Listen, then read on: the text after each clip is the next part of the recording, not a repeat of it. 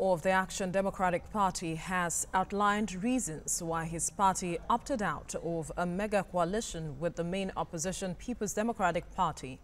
Yabagi Sani, who spoke, the national chairman of the Action Democratic Party has outlined reasons why his party opted out of a mega coalition with the main opposition People's Democratic Party. Yabagi Sani, who spoke at a stakeholders meeting in Lagos, described the proposed coalition as regrouping for looters rejected by Nigerians in 2015. Senior political correspondent Ayodele Ozugbakun was at the event.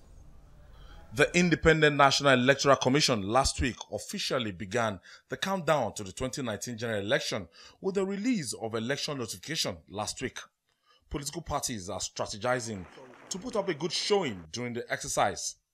The Action Democratic Party held a Southwest Stakeholders Forum in Lagos to review its plans for the 2019 election. The national chairman and other key chieftains of the party across the country were present at the meeting. The national chairman, Alhaji Yabagi Sani, explains why the party will not go into alliance with any political party. We're looking for people that we know are committed to put to take this country to the next level.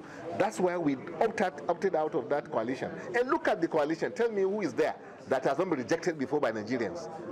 Tell me, there's none of them. So this is why we must now come out, you know, and give Nigerians that credible alternative. That's what we represent. Mr. Babatunde Gbadamosi, a governorship aspirant of the party in Lagos State, vowed to rescue Lagos State from the stronghold of the All Progressive Congress. As a political party, the ADP has had enough of the oppression.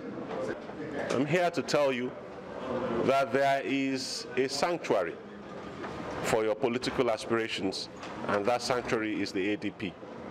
Our primaries are going to be conducted in an open, fair, and transparent way. It's going to be a general primary where every card carrying and financial member of the party will get to vote. The Action Democratic Party, which was registered last year, is reaching out to credible Nigerians to challenge the APC in the 2019 election. Ayodele Ozugbakun, TVC News, Lagos.